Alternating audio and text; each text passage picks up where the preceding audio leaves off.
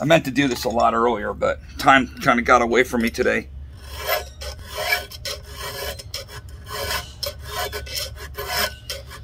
It helps if these are newer. This is pretty old, beat up. I'm kind of running low on these goofy files, but I love these things for a lot of different reasons.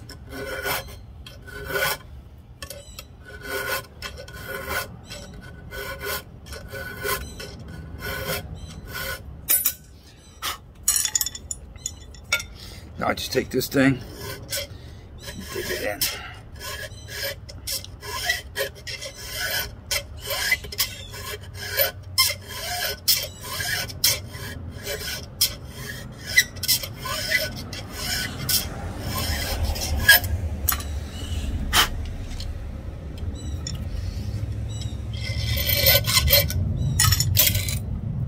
Oh, shit. Ten times better. Just being a little bit warmed up just made all the difference in the world. Look at that.